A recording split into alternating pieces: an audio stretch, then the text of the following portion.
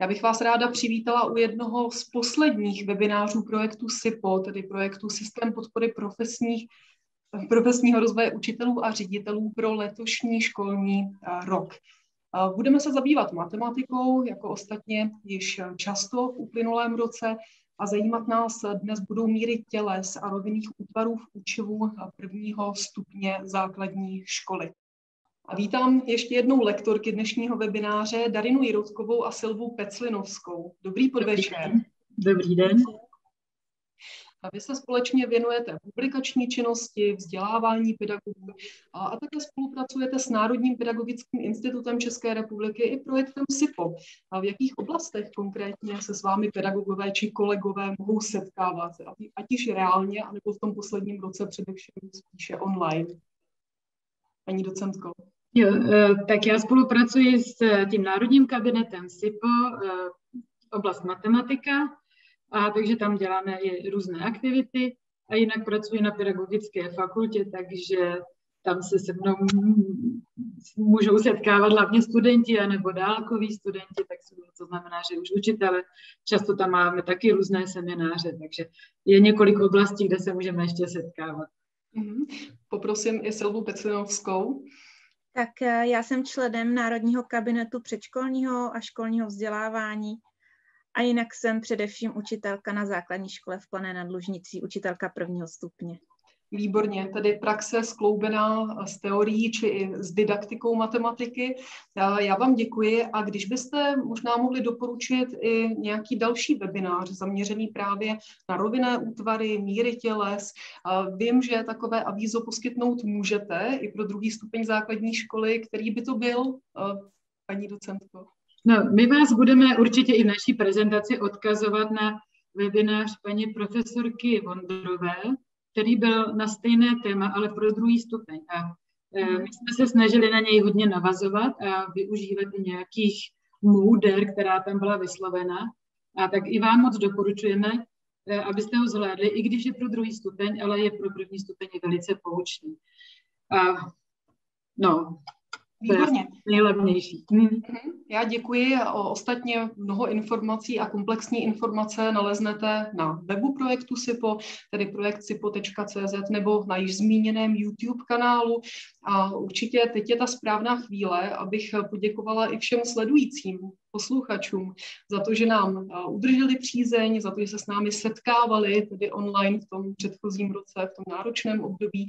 A již teď pro vás projekt CIPO připravuje další vzdělávací aktivity a další webináře. Tedy rozhodně nekončíme a v dalším příštím školním roce se budeme opět výdat a já si těším, že přivítám i vás. Děkuji, krásný webinář, poprosím pomalu o nazdílení prezentace a krásné léto všem, mějte se hezky.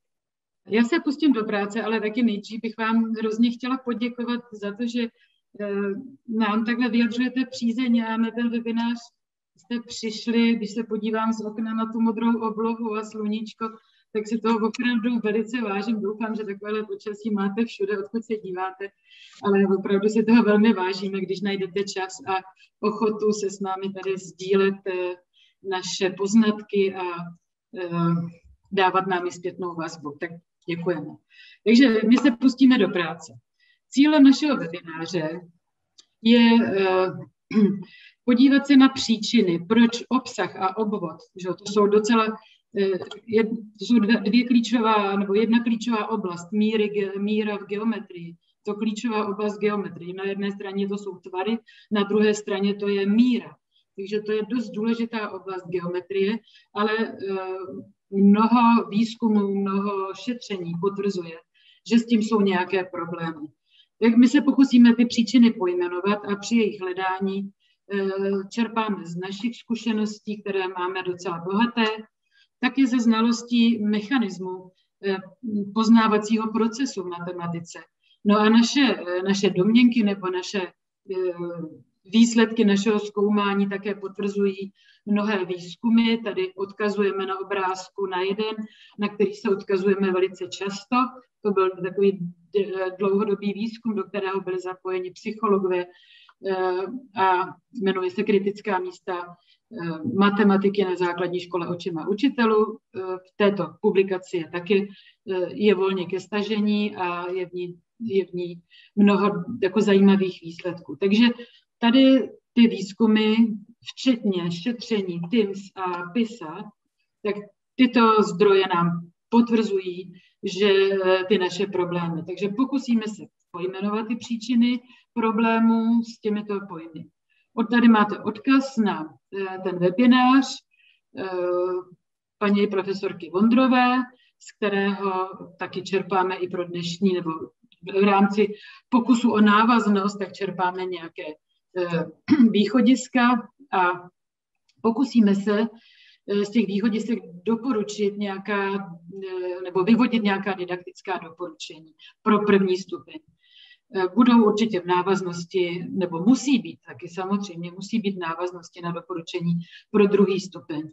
No a eh, samozřejmě podložíme ta naše doporučení ukázkami úloh, abyste měli inspiraci, co dělat žáky a eh, vždycky si trošku řekneme, proč zrovna tohle to máme dělat. Tak. Takže já bych teď ještě schrnula, co se teda týče struktury dnešního webináře, co se týče jeho obsahu.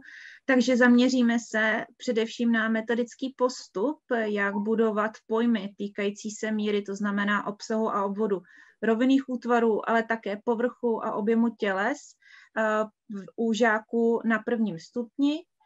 Eh, podíváme se také na příčiny častého neporozumění a zaměňování pojmů a vzorečků a připravili jsme si pro vás eh, i celou řadu úloh do praxe, do praxe, které si myslíme, že by mohly pomoci předcházet zmiňovanému problému s neporozuměním, anebo přímo povedou k objevování vazeb, které pak žákovi v budoucnu pomohou eh, k formulaci a porozumění vzorečkům. Eh, tady jen ukázka eh, výběru některých výstupů z rámcového vzdělávacího programu, které souvisejí s naším tématem a z nich se také odvíjí výběr materiálů, které pro vás máme připravené. Tedy vycházíme z toho, co bychom měli na prvním stupni jako učitelé naplňovat. A tady si myslím, že stojí za povšimnutí, že zde není nic napsáno o tom, že by žák na prvním stupni měl ovládat vzorečky pro obvody, obsahy, povrch a ani objem. Eh, v souvislosti s tím eh, bych se chtěla vrátit k úloze, kterou jste mohli nebo budete moci vidět eh, v již zmíněném webináři profesorky Vondrové, a to úlohu z mezinárodního šetření TIMS z roku 2007, kdy žáci osmých ročníků měli za úkol vypočítat obsah eh, šedivě vyznačeného trouhelníku, přičemž eh, úspěšnost český, českých žáků byla velmi nízká, a to jen 23 eh, A mm, za zajímavé však považuji především to, že když byla tato úloha experimentálně ještě po několika letech použita u jiných dětí znovu, tak ehm, z těch dětí, které se snažily použít vzorec, byla úspěšná jen asi polovina.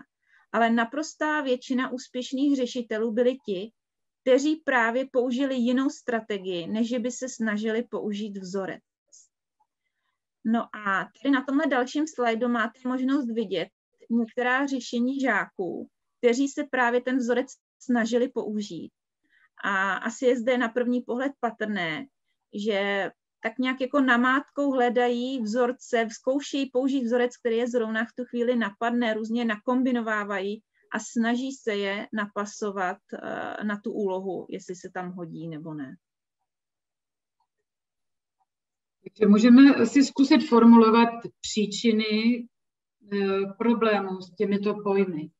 Tak jeden problém je určitě, eh, a možná, že o tom se tolik nemluví, ale je důležité si ho uvědomit. Je to ta verbální stránka. Ta dvě slova jsou vel, velice zvukově podobná. A e, za chvilku si o tom ještě víc povíme, jak to vlastně přichází, co to vlastně znamená pro žáka s těmito slovy se seznámit. E, dalším, další příčinou problému je právě co jste viděli před chviličkou, že se ty pojmy zavádějí hned ve vazbě na vzorečky. Ukáže se dětem třeba plot, eh, obvod nějaké zahrady nebo jako plot a pak se řekne, to je obvod a jdeme na počítání a hnedka vzorečky. Velice často se obvod a obsah eh, probírají skoro zároveň. Jde se na čtverec, obsah čtverce, obvod čtverce a máme to během třeba několika po sobě jdoucích hodin, ale třeba během dvou, tří hodin eh, jakoby probráno a rovnou ten pojem a rovnou vzoreček. Tak to je něco, co určitě způsobuje problémy. Eh, ten vzoreček je abstraktní symbolika. Když se zavede příliš brzo, tady bych ještě odkázala na jeden náš webinář, eh, co jsme měli asi před 14 dny se Štěpánem Ročákem právě o zavedení písmena té, té algebraického jazyka, té symboliky. Prostě, když se to zavede moc brzo, tak hrozí nebezpečí, že tomu žáci nebudou rozumět a bude to pro ně jenom formální poznatek, který nebudou umět používat v nějakých nestandardních situacích. No a asi všichni dobře víme, s tím máme hodně zkušeností, že toto téma zatěžuje eh, oblast jednotek a převádění jednotek. Určitě Eh, s tím máte zkušenosti, jak se snažíte pomoci žákům, aby jim to šlo. Žáci to nemají rádi, není to oblíbené učivo, ale tímto bodem se zabývat tady dneska nebudeme. Tak podíváme se na, ty, na ten verbální jazyk. Eh, Silvo, poposun jeden slajdík, tak. Eh, jsme řekli, že to, je, že to je hodně podobné, že to, je, že, to, že to zní podobně. A pro žáky je důležité si uvědomit, že to jsou pro žáky nová slova, v geometrii nová slova. Oni mají v hovorovém jazyce nějaký význam, ale bohužel úplně jiný, než který nějak koreluje s tím významem geometrickým.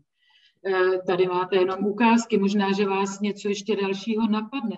Kdyby někoho z vás něco hezkého napadlo, tak napište nám do četu, co ještě všechno slovo obsah v hovorovém nebo v tom běžném životě znamená, ale běžně se používá obsah lahve, obsah knihy, obsah válců motoru, obsah kapsy a, a možná mnoho dalších věcí, na které si ještě vzpomenete vy.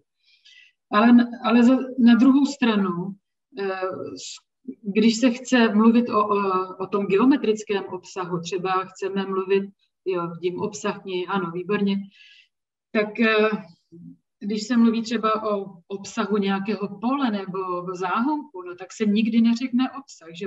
Takže naopak se používá pro ten obsah geometrický se používají hovorová slova plocha, výměra. Takže jenom se pojďte podívat, jak to mají fakt obsah sdělení. Děkujeme.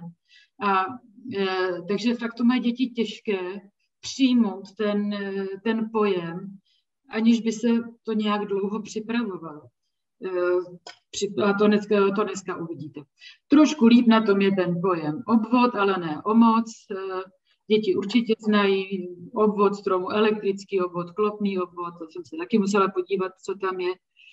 Eh, ve té škole používali plocha, bezvadný, jo, ale to je, to je fajn, protože tomu děti rozumí a to je to, co znají z geometrie, co znají z hovorového života.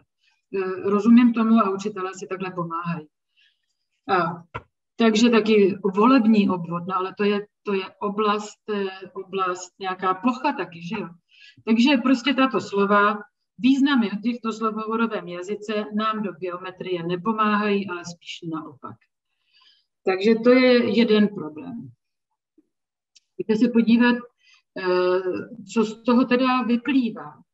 Eh, podíváme se na nějaké na didaktická doporučení. Vezmeme některá didaktická doporučení z, toho, eh, z té přednášky pro druhý stupeň a trošku je modifikujeme i pro první stupeň. Hodně důležité pro porozumění těm pojmům je budovat eh, představu o vlastnostech geometrických útvarů. Je Silvo, to si měla říkat ty, jo, tak já ti předám slovo, pardon. Já jsem do toho to tak je úplně, úplně v pořádku, klidně pokračuj dál. V podstatě tady uh, jsme připravili jakýsi seznam doporučení, které nám přišly uh, jako důležité pro právě správné uchopení pojmu obsah a obvod pro první stupeň, ale jak už bylo řečeno, vycházíme i z těch doporučení, které vlastně jsou v lecčem identická s, s druhým stupněm, které jste, uh, můžete najít se ve zmiňovaném webináři. Takže jedna z těch doporučení je budovat představu o vlastnostech geometrických útvarů na základě vlastně manipulace s, těm, s, s těmi tvary, rozkládání, skládání, přeskládávání do jiného útvaru. Dále pak pojmy obvod a obsah, což si myslím, že je poměrně hodně důležité, budovat alespoň zpočátku odděleně. Nejdřív získají zkušenost s jedním, pak eh, s druhým. A zároveň ne hned od zpočátku eh, tyto pojmy budovat hned eh, společně se vzorečky. Dále ideální je, když tyto pojmy jsou propojovány s reálnými zkušenostmi, zavedením vlastně, se zavedením termínu, kterým ty děti nepotřebují vysvětlovat, kterým rozumí. To znamená, místo pojmu obvod můžeme používat eh, termíny jako počet dřívek, délka provázku, místo obsahu počet dlaždic. Myslíme si taky, že jedním z doporučení by mohlo být eh, zkoumat útvary o stejném obsahu a skládat ty komplikovanější útvary z těch jednodušších, zase pro poznávání vlastností, jak to funguje. A i v pozdějších eh, fázích výuky, což je vlastně doporučení, které prolíná eh, veškeré oblasti v matematiky, tak eh, i v pozdějších fázích výuky se vracet k těm předchozím stádím. To znamená, znovu se třeba například vrátit k té manipulaci, aby si zase ty zkušenosti upevnili a dál, dál um, ověřovali. Takže tolik asi těch základních šest, které nám přišly Eh, důležitý, který by mohly pomoci budovat eh, pojmy obsah a obvod a předcházet těm problémům, o kterých eh, byla řeč. Asi jste tady z nás cítili, že trochu jako brojíme proti vzorečkům, takže teď to rozbalíme a rovnou řekneme, že, že, vzoreč, že si do, domníváme, že vzorečky na prvním stupni vůbec se není nutné zavádět. I když já mám zkušenost, že jsem se bavila s jednou paní učitelkou a ona říkala, no teď mi přišly docela šikovní děti, ale tu geometrii neumí. A tak jsem se ptala, no a co z geometrie neumí? No, neumí ty obsahy. A, a, a tak jsem se ptala, a, co na tom neumí? Umějí, uměj spočítat obsah nějakého obrazce, třeba na mříži, a jo, to jo, ale neumějí ty vzorečky. No tak oni ani nemusí umět, že viděli jste RVP, takže to opravdu není jako očekávaným výstupem, že děti budou ovládat vzorečky. Eh, pojďte se na prvním stupni domluvit. Budeme co nejdéle budovat porozumění těm pojmům, eh, hledání různých technik, jak obsah zjistit, aniž bychom potřebovali vzoreček. A v mnoha těch technikách uvidíte, že ten vzoreček je nějak skrytý. Tady bych, eh, takže samozřejmě některé děti jsou i kognitivně připraveny na vzoreček, ale pojďte si uvědomit, že to je opravdu ten nejvyšší, tady jak máme ten první bod, že to je vlastně jakási formulace myšlenky pomocí znaků, písmen, které dětem moc neříkají. Takže to je takový nejvyšší stupeň abstrakce. Tak to pojďte nechat už úplně jako třešničku na dortu poznávání těch pojmů. Eh, co je na tom nebezpečného? S tím mám bohaté zkušenosti, že Eh, žáci odříkají vzorce, někdo učitelé můžou s tím být spokojení, ale nepoznají, jestli tomu opravdu rozumí. Že umožní, eh, vzorce třeba někdy i umožní počítat to, co mají spočítat, třeba obsah něčeho nebo eh, podle zadání, ale děti to umějí třeba jenom v tom kontextu, v kterém to poznávali. Ale pak, když je třeba úloha trošku otočená, že mají zjistit výšku, když znají stranu a obsah, tak tak už tam tu vazbu prostě nedokážou vidět a nedokážou s tím pracovat. Takže to jsme říkali, eh, že ta algebraizace je předčasná, takže i když to třeba v učebnici je, tak eh, neberte to tak hodně vážně a neskoušejte to děti. S tím mám taky zkušenosti, paní učitelka zkoušela, měli se děti měli písemku, připravovat se na písemku a jedna maminka doma trénovala dítě ze vzorečků.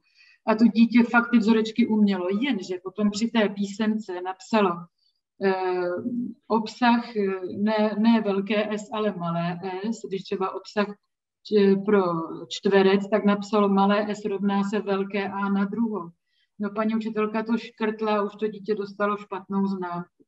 Takže ani prostě to, to k něčemu asi moc dobré není. Moc se mi líbí, toto jsem řekla, že někteří žáci jsou připraveni, to bych nechtěla tvrdit, že nikdo na prvním stupni neumí přijmout ten vzoreček, ale uh, nutno na to dávat velký pozor. A moc se mi líbí tady to moto takové paní profesorky Vondrové, které už několikrát použila, že ten eh, vzorec geometrie je dobrý sluha, když rozumíme, ale špatný pán, když ho používáme bez porozumění. Podíváme se ještě na další slide, kde uvidíte, to bylo v rámci eh, nějakého testování, které jsme si kdysi dělali, a to je z jedné třídy. Eh, takováhle úloha, jestli to vidíte dobře, obvod čtverce na obrázku je 20 cm a má se zjistit jeho obsah a pak ten čtverec je rozdělený na dva obdélníky a s nima se má pracovat. Takovouhle úlohu, kde je provázán obsah a obvod a něco je dáno, to druhé se z toho má vypočítat, to bylo prostě jako pro děti skoro nepřekonatelný problém. A jediné řešení, které se tam vyskytlo, bylo právě tady to vygenerování nějakých vzorečků a vygenerování nějakých výsledků. Tady ten, tuhle úlohu to snad neměl žádný žák v té třídě dobře, ale je vidět, že paní učitelka určitě pracovala se vzorečky. Jo, takže pojmy nerozumějí vzorečky celkem eh, se tam občas vyskytly. Můžeme jít dál. Tady je, eh, nabízíme úlohu právě na tu práci s geometrickými útvary, porozumění, skládání, přeskládání, rozstříhání, přeskládání jednoho na druhý. A to jsou ty úlohy, které vedou k porozumění eh, těm vzorečkům nebo principům, těm vazbám, které umožní spočítat obsah obrazce, který třeba na první pohled nevidíme. Tuhle úlohu eh, jsme i představili, když jsme mluvili o zlomcích, že tady vidíme Eh, když to přeložíme, čtvercový papír přeložíme na půl, někteří žáci dostanou trojuhelník, někteří žáci dostanou obdélník. Který obrazec je větší? Zase to můžeme nějak připomínat, jako třeba, eh, že to musíme nabarvit a kde potřebujeme více barvy, abychom specifikovali, co to znamená to větší a nemuseli říkat slovo obsah. No a e, samozřejmě přes zlomky se to dá taky zdůvodnit, ale Eh, já jsem viděla v jedné první třídě, paní učitelka to dala, děti se tam dohadovaly, poměřovaly a při té hodině na nic nepřišli. A paní učitelka to dala za domácí úkol. A na dalším slajdu je ukázka, co děti přinesly druhý den. No to bylo, to, je tohleto řešení mě opravdu překvapilo. Eh, jak si s tím děti pohráli, stříhali, přeskládávali na sebe. Takže tahle ta činnost je pro ně a pro poznání obsahu a pro porozumění vzorečku strašně důležitá. Kousek někde ustříhnu, přilepíme to někam jinam a dostanu něco, co už umím spočítat. Tak tohle to klidně si zkuste s prvňáky, ale nemůžete to dát jenom v hodině a očekávat, že v hodině na to přijdou, protože oni si s tím musí chvilku pohrát a na to pravděpodobně při hodině nebudete mít čas. A když to dáte druhákům, třetíákům, tak možná víc dětí přijde na nějaké šikovné řešení. Tak zkusíme si ještě malinko náročnější úlohu. Náročnější spíš jako, že je pro starší žáky. Zase máme papírový čtverec a e, máte ho rozstříhnout jedním střihem na dvě části, tak, aby z těchto dvou částí přiložením k sobě, to přiložení teď budeme považovat za termín, přiložíme vždycky stranu na stranu, ty, obra, ty, ty části se nesmí překrývat a musí vždycky doléhat přesně strana na stranu. Tak to bude pro nás to přiložení. Tak a máme to přiložit tak, aby jednou vzniknul nerovnoramenný pravoulý trojuhelník, jednou kosodelník, jednou rovnoramenný lichoběžník.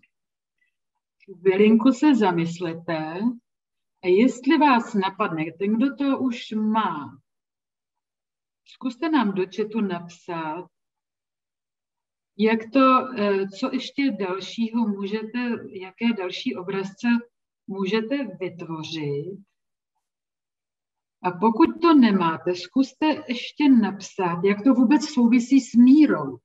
Tady vám ukazujeme úlohy, kde jenom si hrajeme s tvary a eh, jak nám to pomůže jak nám to pomůže porozumět tomu pojmu míra, obsah, v případě obvod.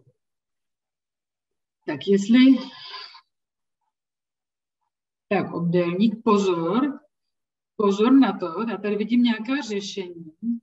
Máte jednou stříhnout a dostat dva obrazce nebo dva útvary. A z těchto dvou útvarů musíte složit jak ten trojuhelník, pak to přeskládáte jinak, dostanete lichoběžník, pak to přeskládáte jinak, dostanete kosodélník. Takže jenom měněním, eh, jenom jiným způsobem přikládání. Ne jiným způsobem stříhání, ale jiným způsobem přikládání těch dvou útvarů. Tak, kdo byste si to chtěl nechat teď pro sebe, jakože si budete, jo, tady paráda, no, uh, už to tady vidíme, už co si o tom myslíte, jak, se, jak to souvisí s obsahem. Tak kdo nechcete vidět výsledky, tak si můžete na chvilku vypnout uh, nebo se otočit a my si tady ukážeme na dalším slajdu, jaké různé obrazce můžeme dostat tím přikládáním. Tak, takže tenhle ten, jasně, úlopříčce a jeden trojuhelník otočit. Jo, úplně úlopříčka to není, Lukáši, ale je to, eh, je to taková příčka, která vede z jednoho vrcholu do středu protější strany. No a tenhle ten eh, to trojuhelník pravouhlý, když ustříhneme, tak tady vidíte, jak ho různě můžeme, eh, jak ho různě můžeme přikládat a dostat plno nových tvarů že jo, když to budete dělat s dětmi, tak to je jeden ze způsobů, jak se, jak se můžou vynožovat nové tvary a můžeme pro ně hledat názvy. Ale o to nám tady nejde. Nám jde teď o to, eh, o tu míru. Takže zeptáme se, a někdo nám už tady odpověděl, tak který z útvarů má, ale pozor, já to trošku změním, který z útvarů má největší nebo nejmenší obvod? Jak bychom to mohli zjistit? Teď nevíme, kolik to měří. No a samozřejmě, Silvo, můžeš dát další, tam jsou ty otázky. A který z útvaru má největší anebo nejmenší obsah? Tady ta otázka se zdá směšná, protože už taky na ně někdo odpověděl. Tady je v četu, že všechny útvary mají stejný obsah. Ale ono, obsahy se nemění. Výborně, děkujeme. Ale když chvilku se zabýváte obvodem, tak vaše mysl je trošku e, soustředěná na ty obvody. A pak, když se zeptáme na obsah, tak chvilinku přemýšlíte. A když vidíte třeba, že děti eh, nebo žáci přemýšlí a chvilku jako to zkoumají, tak vidíte, to je taková diagnostika, že ještě ten obvod, eh, pardon, ten obsah nemají tak dobře uchopený, protože eh, chvilku o tom přemýšlí a než si uvědomí, že to vlastně všechno je vytvořené ze stejných kousků, tak, tak to zkoumají. Takže to je taková dobrá úloha, když vy pozorujete, jak dlouho jim trvá, než přijdou na to, že eh, všechny útvary mají stejný obsah. Tak, protože jsou ze dvou stejných kousků. Umíme to hezky zargumentovat. Tak teď se možná někdo zabývá těmi uh, obvody. Pojďte se podívat na, na ten první, můžeme posunout ještě jeden slajdík a podíváme se na ten první a třetí, na ten čtverec a tam máme kosodélník, že jo? Není to kosočtverec, pozor, kosodélník. Pojďte to zkusit porovnat. Tak si označíme třeba stranu čtverce, třeba jenom tak pro nás, zatím ne pro žáky. E, třeba A, a pak tady máme tu šikmou, která vznikne tím uříznutím, tak třeba tu označíme S. Kosodélník je větší, je to stejné, jo.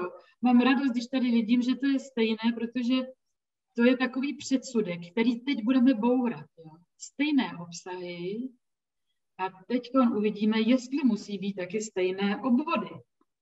Tak eh, domluvíme se, nebo asi se shodneme na tom, že ta S, ta strana šikma, nebo ta úsečka šikma, která vznikla tím rozstřižením, že je o kousínek delší než ta strana čtverce, že je to přepona. Druhý Výborně, už vidím, že to tady všechno generujete. Tak a teď argumentace.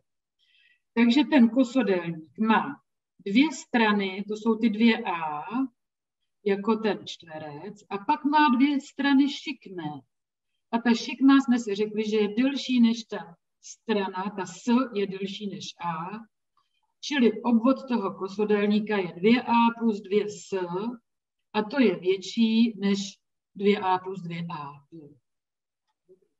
Takže to mám radost, jak jste tady odpovídali, jak jste se zapojili. No a tak jenom pro ukázku, tady jsou nějaké výpočty na dalším slajdu, které, eh, kde, kde jsme zvolili stranu čtverce jako jedna a pak z toho můžeme ty obvody docela dobře vypočítat a už vidíme, co je stejné a co ne, ale eh, tady to je těžký nástroj, že odmocně na zpěti, to nebudeme s žáky dělat, to je jenom pro nás, který už umíme pracovat s Pythagorovou větou, ale pro žáky, jak jsem to nabídla, označit si ty délky strany jako A a S, nebo prostě krátká, dlouhá, nebo to je. A pomocí toho mají, nebo toto je pro ně i docela dobrý argumentační nástroj, protože se schovala nejmenší.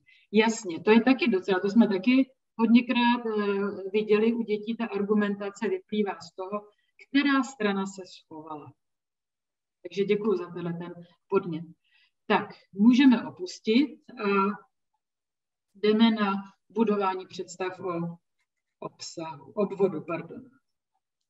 Eh, tady mm, myslím si, že za výbornou a snadno dostupnou pomůcku, když často jsme zmiňovali to, že je důležitá manipulace, eh, tak eh, dobrou pomůckou pro vlastně získávání představu nebo budování obvodu považuji dřívka.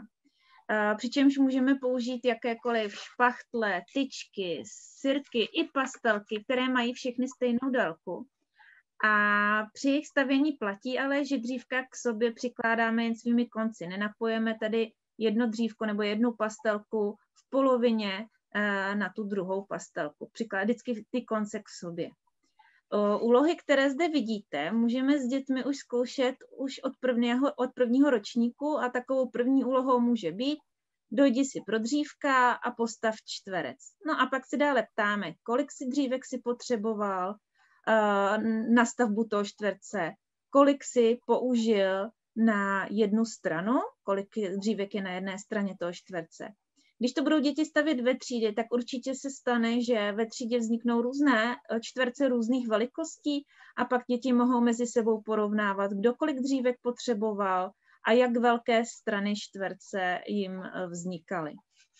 Další takovou obměnou tohoto typu úloh může být vytvoř čtverec tak, aby jedna jeho strana byla tvořena dvěmi dřívky, třemi dřívky a tak dál. A zase sledují, jak se mění počet těch dřívek v závislosti na tom, jak dlouhá bude strana toho čtverce. No a nebo eh, když to vezmeme z druhého konce, vytvoř čtverec z osmi, deseti, dvanácti dřívek a podobně. Možná jste si stihli všimnout, že u této poslední úlohy úmyslně zadáváme počty dřívek i ty, které nemají řešení, a přičemž myslím si, že někteří žáci hned vidí souvislost uh, s násobky čtyř, ale někteří si potřebují dále manipulativně ověřovat, z jakého počtu čtverec půjde a nebo nepůjde postavit.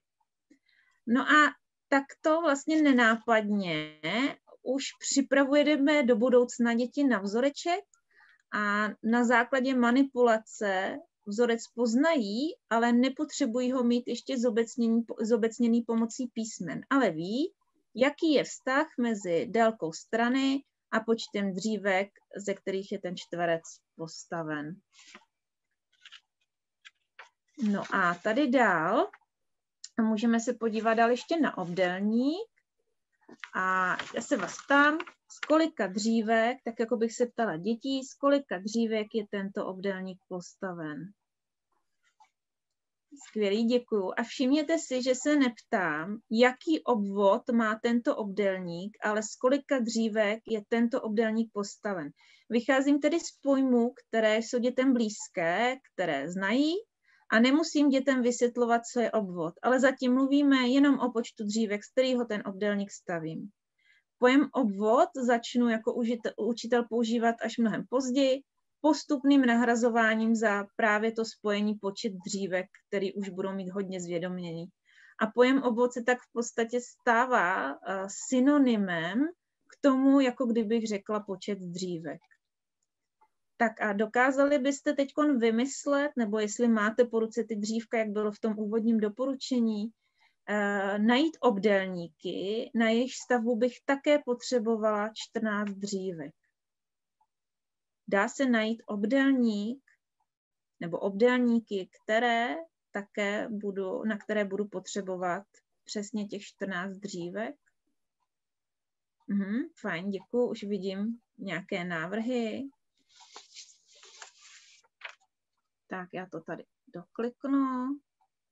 Objevilo se už i v chatu. A tady vlastně vidíme, že ač máme uh, různé obdélníky, tak vždycky na ně bylo potřeba stejný, uh, stejný počet uh, těch dřívek. No a vlastně, že tvar toho obdélníku se změnil, ale obvod, nebo pořád mluvíme o počtu dřívek, se nezměnil.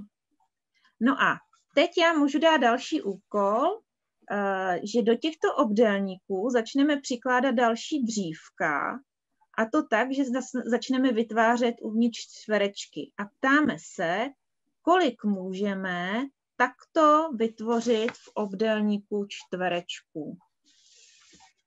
Děkuju, šest určitě. Tady nám vzniklo šest čtverečků, no a teď bychom se mohli podívat, jak tomu bude u těch dalších obdélníků, které nám vznikly také postavením ze 14 dřívek, jestli budou taky, když mi to má to stejný přece z stejného počtu dřívek jsme to postavili, tak jestli i ten počet čtverečků uvnitř bude stejný, nebo se bude, bude nižší, nebo no, bude vyšší, jak to tak bude.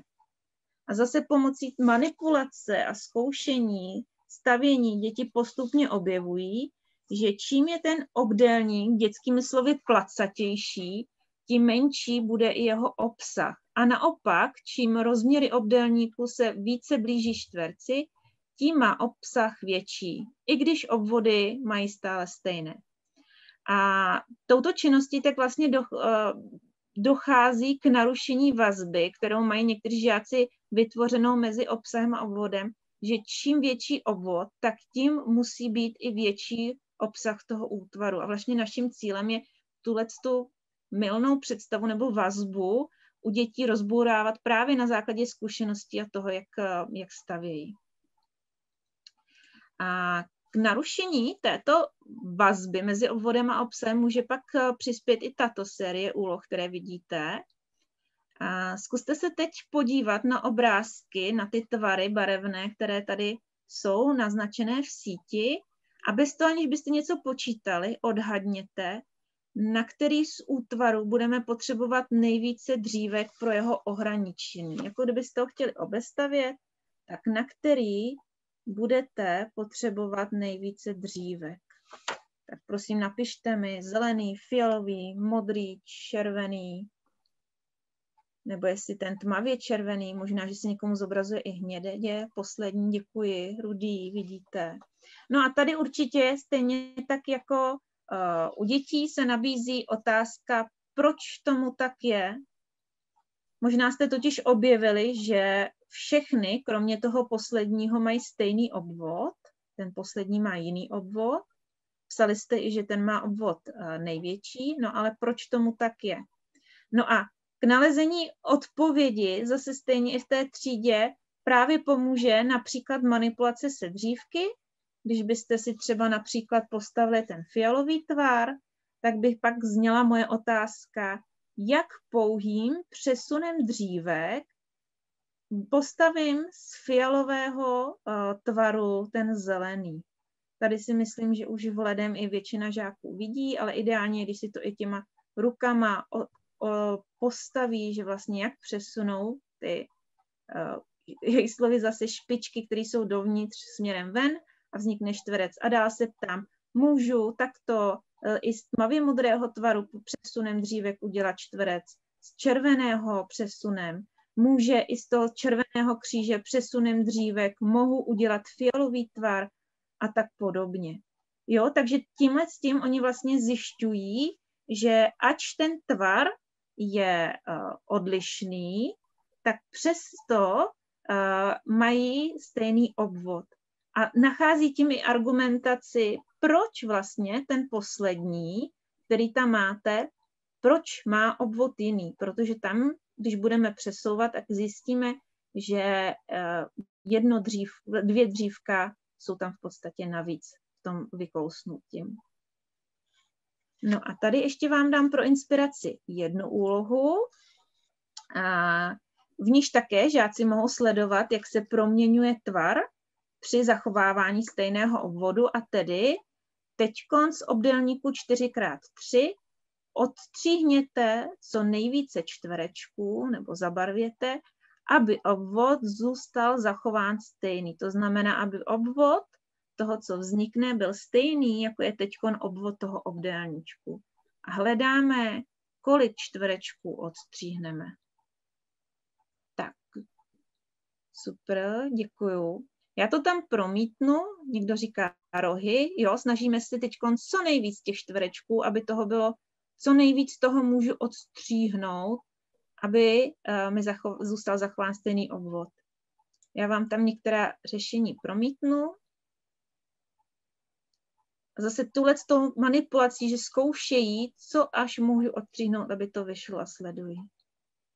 Tak, aby zůstal zachován stejný obvod. Takže to je pár inspirací k tomu, jak si mohu uh, s tím obvodem hrát a zároveň uh, zjišťuji, jaký je vztah mezi obvodem a obsahem a bourají tu představu, že čím větší obvod, tím musí být větší obsah a obráceně. Tak jdeme se podívat ještě za staršími dětmi. Eh, moc bych doporučovala takovouto aktivitu. Má několik významů.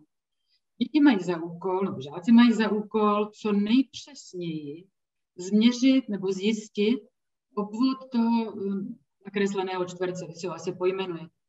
Takže máme co nejpřesněji zjistit to. Tak eh, žáci pravděpodobně eh, vezmou měřítko a budou měřit v milimetrech. A pravděpodobně naměřím 22 mm a možná kousek navíc. Když se, když se děti budou dohadovat, že možná tam je kousek navíc, který neumí pojmenovat, museli by ho odhadnout, tak stačí, když si tam napíšeme to plusko. Je to 22 a kousínek. Ale neumíme ten kousínek přesně eh, identifikovat. No a tak když tuto vzdálenost nebo toto číslo vynásobíme čtyřmi a zjistíme takhle obvod toho čtverce, tak nám vyjde, že to je 88, no a nějaký kousínek ještě, nebo čtyři malý kousínky, no. Možná se to bude blížit 88,5 nebo k 89. Ale když někdo přijde, a když na to někdo nepřijde, tak to učitel může malinko podstrčit.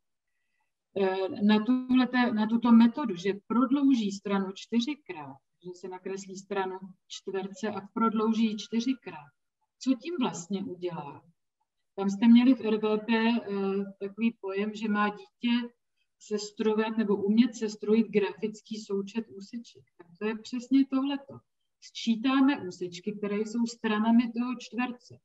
Akorát jen měníme jejich polohu. A tady to dává smysl, protože teď grafický, na, ano, děkuji. Eh, teď vlastně dáváme tomu smysl. Proč to je dobré udělat? No, teď, když to změříme, tak když vezmete eh, měřítko a máte přesný centimetrový papír, tak naměříte 89 mm a půl milimetru tam skoro vidíte z jistotou. Takže určitě přes 89. No a takže tady vidíme, že to změření je přesnější než vynásobení eh, čtyřikrát toho, délky strany toho čtverce. Tady ta technika, jako že měříme a uh, uvědomujeme si, jestli to máme přesně, nebo to není úplně přesně. Tam jsem napsala 89,5, to děti, děti skoro řeknou, milimetrů, ale tu půlku, to úplně přesně nevíme. Možná kousek víc, možná kousek míň. A e, tady je chyba dole, pardon, tady vidím 89,5 plus, ale má tam být 5 minus. Tak, e, takže tahle ta technika tvoření grafického součtu těch stran e, čtverce je dobrá a umožňuje taky rozvíjet tu, ten pocit přesného měření, potřebu přesně měřit. Jo? Jinak když jenom máme úlohu změř přesně, tak není úplně důvod, ale tady vlastně soutěžíme, jak to přesně změříme. A je to vlastně i taková technika prodlužování úsečky, technika k tomu, abychom zjistili, jakou, s jakou nepřesností eh, měříme danou úsečku. Prodloužíme se ji, změříme prodlouženou, ona se nám prodloužila i ta chyba a takhle snadněji zjistíme, s jakou přesností jsme danou úsečku změřili. Tak, podíváme se, takže to je takové spíš pro děti, kteří, kde, kde už pracujete na čtvercovém, na čtverčkovaném papíru na mříž. Tak tady máme, jdeme se podívat na teďko na budování představ o obsahu. No a e, využijeme zkušenosti, které mají děti. Děti, mnohé děti hrají, to bylo jednu dobu, myslím si, že i teď je to hodně oblíbená hra u bongo. Nebo tady ten blokus, že se tam tvoří tvary, e, které, mají, která jsou jakoby trojuhelníková polymina. Jsou to tvary složené z rovnostranných trojuhelníčků a teď se s nějakým cílem má vyskládávat nějaká plocha. A e, s malými dětmi úplně z prvňáky zase můžeme začít manipulacemi toho typu, tak nejdříve odhadněte, pak to zkontrolujte, kolik papíru, třeba A4, nebo jaké máte po ruce, kolik papíru se vejde, nebo kolik, kolika papíry pokryjeme lavici, nebo v tělocvičně žíněnky, kolik potřebujete žíněnek, abyste pokryli tělocvičnu tam už je to zase náročnější, jak to zjišťovat, když těch žíněnek tam nemáte dost. No. Jak rychle spočítat počet dlaždic na chodbě, můžou si dát závody, jak to rychle, jak to, jo. Jo, tady děkuji za Tangram, ten, ten za chviličku přijde na řadu. E, je, máme hezkou historku, kde děti otiskovali houbu na tabuli a měli zjišťovat, e, kolik těch otisků houby se na tabuli vejde. Dneska už jsou teda ty, ty bílé tabule, ale když jestli máte ještě tu zelenou, tak je to docela zábavná aktivita. Čekejte, kdy děti řeknou, aha, to není nutné, to všechno potiskat, stačí, když to tady vynásobíme. Tak můžeme jít dál. Když jsem teď narazila na to násobení, tak uh, jsme tady kdysi měli s Magdou Málkovou ještě webinář o tom, jak na násobilku. Takže tady obsah obdélníku a násobilka je propojeno a Zase to můžete, můžete to realizovat formou hry, že si děti hodí kostkou nebo si vylosují dvě kartičky, podle těch čísel se strojí obdélník, napíšou kolik čtverečků, ještě nemusíme říkat, nemusíme říkat obsah, ale kolik čtverečků e, jsme takhle vyznačili a pak to umístíme do takovéhle tabulky a vznikne nám nádherně tady tou činností E, násobilková tabulka přes obsahy tady těch čtverečků, přes obsahy obdélníků. Moc úloha. Zase bych to typovala tak čtvrtá, pátá třída, ale dám jí chvilku i vám. Tady máte obdélník. Je tam je obdélník rozdělený úhlopříčkou. A v nějakém místě jsou udělané tyhle ty e, příčky vodorovná svislá a je vyznačen zelený a modrý obdélník. Co o nich můžete říct? Je na nich něco zajímavého? Zkuste napsat do chatu, které z těch tvrzení, které vám tady podstrkujeme, které je pravdivé.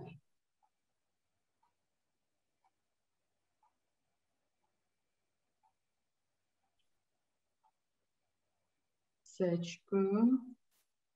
Dobře, tak to někdo říká, co o nich může říct zajímavého, ano. A uh, zkuste se teď zaměřit na ta tvrzení, které tvrzení je pravda a které, no, prostě jenom, které není. Takže tady hodně z vás tvrdí, že C je pravdivé, obsahy jsou stejné a to je báječné, že tohle to víte, no ale teď dejme nástroj žákům, jak mají žáci poznat, že jsou ty obsahy stejné. No. Mohou si to změřit a nějak spočítat. Ideální technika je vložit si to na čtverečkovaný papír, no a nebo argumentovat, překlopit ty obdélníky. To úplně nevím přesně jak, to se musím ještě víc zamyslet. Jasně, tady je krásný nápad, že ty bílé plochy jsou stejné. Tak je jasný, že Ty trojuhelníky, které vzniknou rozdělením pod, podél úhlopříčky, jsou shodné. Ty bílé trojuhelníky jsou shodné, musí, být, musí, být, musí mít stejný obsah i ty eh, obdélníky. Takže to jsme si tak letem světem z, z odeberu stejné části bezvadný. Takže většina z vás asi do toho vidí, ale nechme dopřát ještě žákům taky, do toho protože tady ty, troj, ty obdélníky mají tak jiný tvar, že se nedá ani věřit tomu, že mají stejný obsah. No ale co s tím obvodem? Tady obvod asi nemají stejný, že jo? Možná v jedné poloze toho bodu, kde se, kde se uh, protínají ty vodorovné a vodorovná a svislá úsečka, ale to by bylo moc banální. Ale co o nich zajímavého můžeme říct? Tady je tvrzení, třeba to Dčko, podívejte se na to, jestli náhodou taky není pravdivé. že se díváme na součet obvodu těch barevných a pak na součet obvodu těch bílých obdélníků. Co o nich můžeme říct? Trošku triková, trikové tvrzení je to Ečko, že jo. Jestliže jsou stejné obsahy, musí být stejné obvody. Takže to už jsme si tady řekli, že to neplatí, ale jenom nevíme, jestli to náhodou platí. Souhlasí E není pravda, D je pravda. Tak můžeme to posunout na další slide, kde máte vyznačené pravdivé a e, výroky tučně a ostatní jsou nepravdivé. Můžeme skočit na další slide. Tady zazněly, zaznělo ve vašem chatu tangramy. E, nebudeme se tím moc jako zabývat, protože to je opravdu na několik hodin. Ty tangramy, zejména když máte ty plastové, e, děti s tím můžou manipulovat, nebo dřevěné. To je tak nádherná hračka. Děti s tím můžou stavět to, co tam je vždycky předepsáno, nějaký ptáčky nebo e, různé figurky, ale v geometrii si toho užijete opravdu hodně. Například jenom když porovnáte obsahy takových útvarů, které na první pohled jako nevidíte. Červený čtverec, zelený kosodelník, jsou nebo nejsou stejné, jak to poznám? Jsou ty obsahy stejné? A hrozně nám tady pomůžou ty modré trojuhelníky. Já tady ty otázky nechám nezodpovězené, ale třeba zajímavá, zajímavá uh, úloha je, kolik fialové báječný, děkuju. Takže červená, zelená a fialová, nebo červený, zelený, fialový tvar jsou, mají stejný obsah. Tvarově různé stejný obsah. Kolik těch fialových trojuhelníků potřebujete na pokrytí celého e, čtverce? To asi brzo na to někteří z vás přijdou. Ale vy jste řekli, že fialový trojuhelník a červený čtverec mají stejný obsah. Platí to i pro červený trojuhelník, tady máme nápovědu, osm těch osm trojuhelníků potřebujeme. Takže můžeme vyjádřit obsah, červen, obsah velkého čtverce ABCD je osm fialových trojuhelníků. Můžeme pracovat i s jinou jednotkou než čtvereček. E, tam jsme pracovali s modrými trojuhelníky, teď můžeme s fialovými. To je na nás, jakou jednotku si zvolíme a z jak, pomocí jaké jednotky budeme měřit a vyjadřovat eh, obsah. Tak tady jenom to máte za domácí úkol, to nebudeme tady řešit. Jenom jsme tady. Tady někdo z vás odhalil, že potřebujeme na pokrytí celého čtvrtce 8 fialových trojuhelníků. Fialový trojuhelník má stejný obsah jako červený čtverec.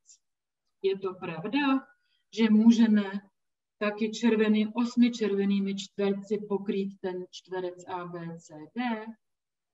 Pozor, ale bez stříhání. Máme třeba ty dřevěné tangramy a nemůžeme pracovat.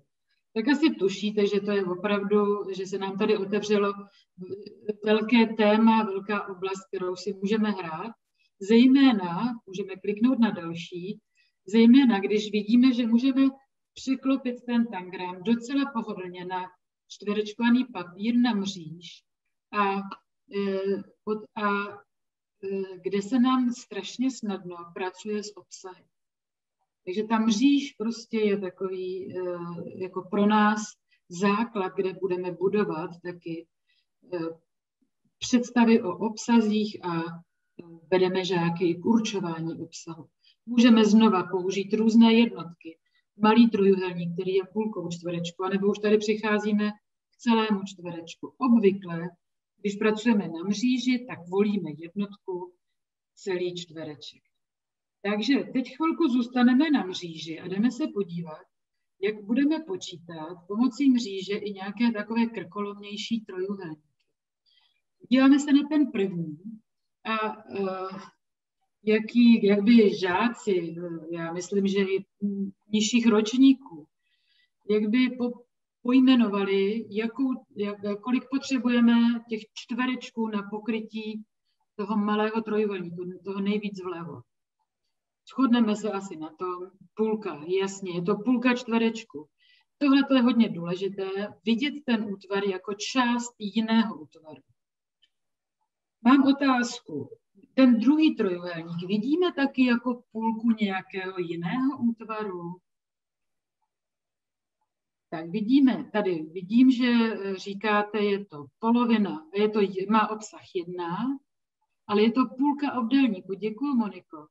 Jo, že eh, to je docela, docela teď důležité, nenechat děti, aby si to nějak stříhali a přeskupovali, i když to je tady v tomhle případě taky možné.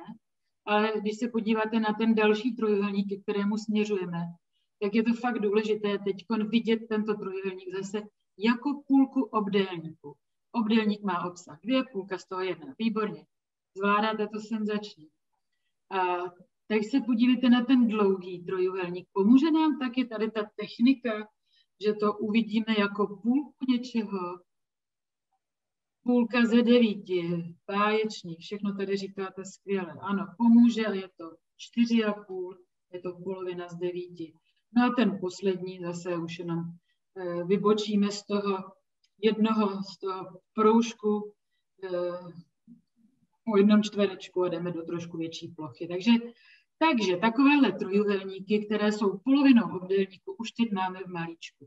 Pojďte se podívat, jak můžeme pomocí těchto e, trojuhelníků, které jsou jakoby z našeho pohledu teď jednoduché, z hlediska určování obsahu, jak pomocí nich můžeme určovat složitější, obsahy složitější, složitějších trojuhelníků.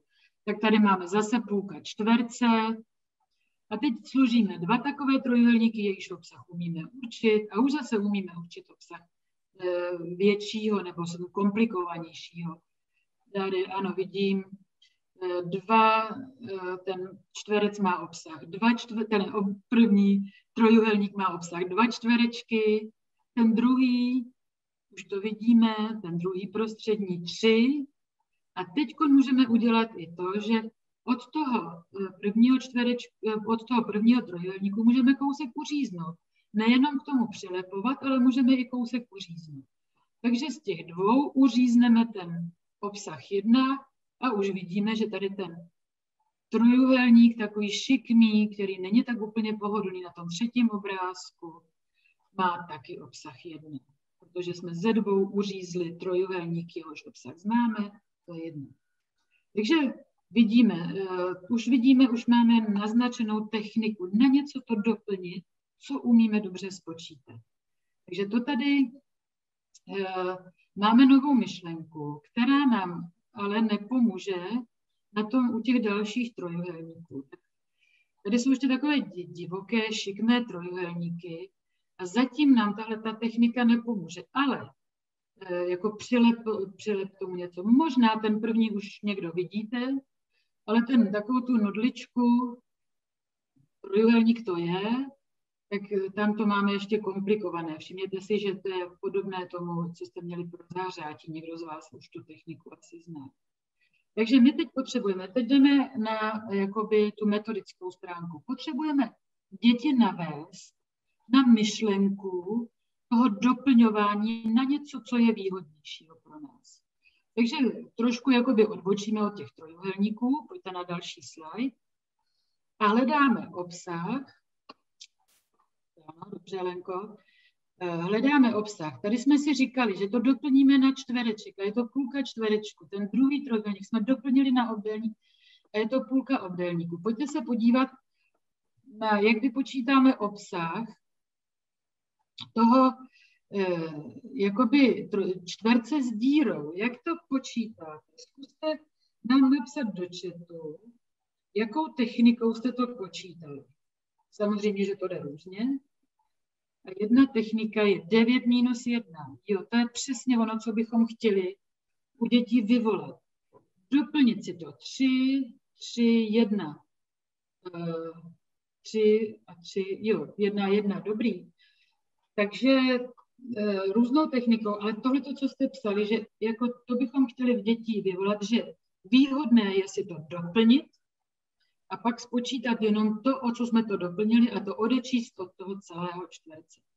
Pak máte další útvar zase, který strašně, strašně jako láká, pojď mě doplnit, že Vy máte čtverec s takovým jenom výřezem. Jaký je obsah tohohle čtverce s výřezem? No, dole máte, pod ně máte to, na co bychom se mohli zaměřit. No já si to doplním báječně. Doplním a ten výřez vidím, to je půlka, tak to, tak to odečtu od těch devíti. Podobně ten poslední, už tam je zase růžek odstřižený, zase výhodné je to doplnit a to, co doplníme, odečteme od celého čtverce až obsah pohodlně známý. Takže teď jsme se připravili na tu myšlenku, odborně se tomu říká myšlenka komplementu, ale toho se nemusíte děsit, prostě doplníme to na něco, co je pro nás šikovné, výhodné. Takže vrátíme se k tomu šikmému trojuhelníku. A už vidíme, doplníme to na něco, doplníme to tady na čtverec. A teď z toho čtverce odřízneme to, co tam nepatří. A vznikne nám, a to, co tam nepatří, umíme snadno spočítat, obsah těch trojuhelníčků. A takhle docela pohodlně doplněním a odřezáváním Eh, umíme vypočítat obsah toho původního trojuhelníku. Ta myšlenka je těžká, proto jsme tady věnovali chviličku času na to, na to tu myšlenku připravit a pro děti. Je to těžké proto, že máte spočítat obsah trojuhelníku. Vaše mysl je zaměřená na ten trojuhelník, ale my se na to musíme, jako my se od toho musíme odpoutat a musíme eh, hledat obsah úplně něčeho jiného, ale nakonec nám z toho vyjde ten náš kýžený trojuhelník. O trošku ještě se podíváme na, tu, na ten druhý, na ten hubenoučký trojuhelník zase. E, zarámujeme to, obkreslíme něco, co umíme dobře spočítat, tak tomu můžeme říkat rámování, metoda rámování.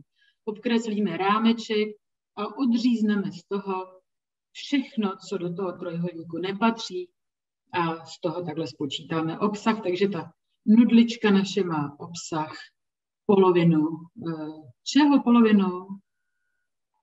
Polovinu čtverečku, jo? Tak, no a eh, tady máte něco na dalším slajdu, to je jenom čtverce. Děkuju, ano. Tady to si nechte jenom pro sebe, až budete mít prezentaci, tak si to můžete zkusit. No, protože touhle metodou můžeme zkoumat nebo zjišťovat obsahy vlastně čehokoliv, nejenom trojuhelníku. Tak si to vyzkoušejte, můžete si sami generovat vlastní tvary, akorát dejte pozor, aby ty vaše tvary byly mřížové. To znamená, všechny vrcholy, aby seděly v těch mřížových bodech, těch průsečíkách linek. Podíváme se na další myšlenku. Tady to bych řadila tak do třetí třídy máme za úkol zjistit, eh, najít další trojuhelníky, které mají obsah jedna polovina. Zkuste si jenom promítnout, jestli je jenom jeden, nebo jestli těch trojuhelníků je více. Před chvilkou jsme měli jeden, že jo, takovou tu nudličku. Ale na co by žáci mohli přijít, zejména když už znají tu techniku rámování. Takže tím rámováním celkem pohodlně určíme obsah trojuhelníků. Takže protože si tady nemůžeme ukazovat obrázky, jenom můžete malovat, jenom nám psát zprávy do četu, tak, tak mrkneme na další obrázek. Dvakrát jedna, jasně, to je asi tenhle, že jo? Že, ten je, že to je v tomhle obdélníku dvakrát jedna, no existují další, další.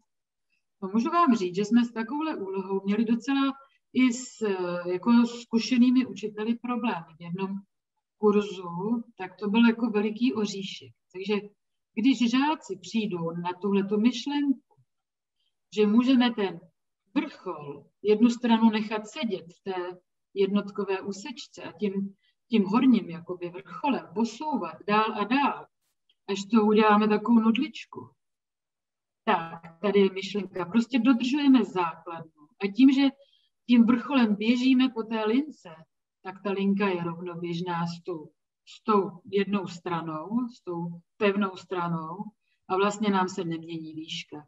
Asi eh, se přerušil signál, takže já jenom doplním, že tady už asi cítíme eh, návaznost, už jak se tato úloha blíží k tomu eh, vzorečku, který v budoucnu opět děti budou používat. Je to poměrně jakoby náročný objev, ale stojí za to to zkusit a právě v souvislosti s tím, jak jste i tady někteří psali, že základnu držíme a jenom posouváme uh, rovnoběžně, takže zachováváme tu výšku. Takže tušíte, že právě mluvíme o základně a výšce, že se k tomu už blížíme k, k tomu vzorečku. Já když to přehodím ještě pak dál, tak uh, to už je poměrně jakoby náročná úvaha, ale žáci mohou pak poznávat dál, Eh, jak souvisí eh, strana s výškou i u těch náročnějších tvarů. Tady by asi zase zasloužilo to, abyste si to zkusili rýsovat. Já to teď eh, jenom promítnu, jak by vlastně jsme mohli dál pracovat s tou výškou, kdyby jsme chtěli posouvat právě, základnu máme tady zeledně vyznačenou, a posouvat jenom ten jeden z vrcholů jak tady ta čtverečkovaná síť nám i pomůže pracovat s těma rovnoběžkama, aby se vlastně jsme pohýbali jenom tím jedním vrcholem při zachování výšky. Ale tohle to už je poměrně jakoby náročná úvaha, ale zase ji můžete mít připravenou pro žáka, který potřebuje daleko větší, větší výzvu,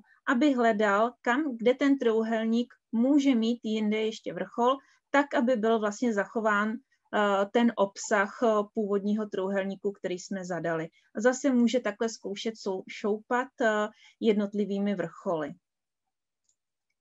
Tak a my jsme teď se hodně zabývali obsahem a obvodem a teď úplně na závěr, protože koukám, že už čas nám i hodně se naplnil, tak na závěr se jenom tak jako lehce dotknu ještě pojmu objem a povrch, protože vlastně to jejich vyvozování probíhá naprosto analogicky s tím, jak už jsme mluvili o obsahu. A zatímco u obsahu jsme mluvili o počtu čtverečků, tak tady v případě objemu mluvíme o počtu krychlí, z nichž je ta stavba postavena. Tedy opět budu po, dětích, po dětech chtít, například určit, z kolika krychlí jsou tyto kvádry postaveny, nebo naopak se mohu ptát, postav různé kvádry z 12 krychlí.